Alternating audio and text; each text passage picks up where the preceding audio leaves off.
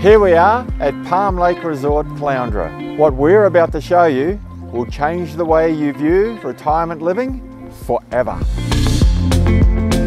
Villa 21 is on offer, ready to move into now. Fully built with all the extras you can ask for. Immaculate in every way. Ducted air conditioning, high ceilings, plantation shutters, spacious rooms, including your very own private garden. What we love are the amazing facilities. All year round, outdoor lawn bowls, indoor 10-pin bowling. Enjoy a swim in the heated resort pool, complete with its own swim-up bar. It even has its very own private cinema. So there you have it.